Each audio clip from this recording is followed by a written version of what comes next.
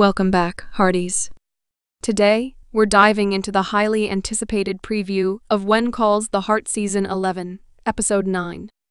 Get ready for all the drama, romance, and surprises coming to Hope Valley.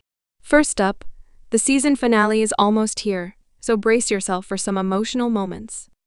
Nathan faces a tough time as Allie seeks to learn about her biological father, which brings a lot of emotions to the surface. But that's not all. Rosemary's latest newspaper article stirs things up by questioning Lucas's decisions. Allie has a heartfelt conversation with Nathan about her birth father, and Elizabeth sees just how fast little Jack is growing up.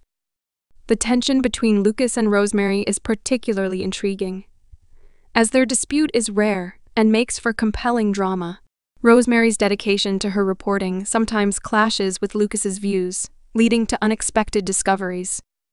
There's so much to look forward to in this episode, and we can't wait to see what happens next in Hope Valley.